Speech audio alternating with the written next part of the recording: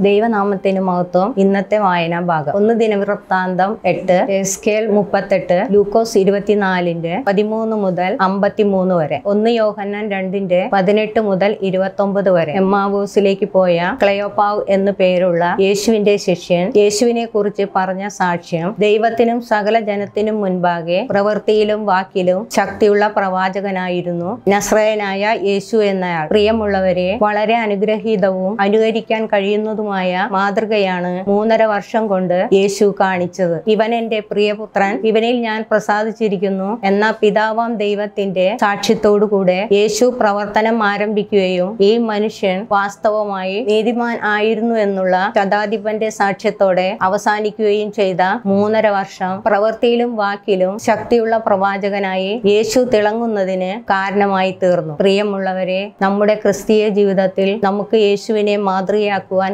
കഴിയണം. ആദ്യം നമ്മുടെ പ്രവൃത്തിയിലും അതിനുശേഷം വാക്കിലും നമുക്ക് സാക്ഷ്യമുള്ളവരായി ജീവിക്കാം. ദൈവം അതിനായി ഏവരെയും സഹായിക്കട്ടെ. നമുക്ക് പ്രാർത്ഥിക്കാം. പ്രിയ പിതാവെ ഞങ്ങൾ അങ്ങയെ സ്തുതിക്കുന്നു. യേശു കർത്താവിനെ മാതൃകയാക്കി പ്രവൃത്തിയിലും വാക്കിലും സാക്ഷ്യമുള്ളവരായിട്ട് ജീവിക്കുവാൻ അങ്ങ് എല്ലാ കൃപയും നൽകി സഹായിക്കണമേ. ക്രിസ്തേശുവിന്റെ നാമത്തിൽ തന്നെ. ആമേ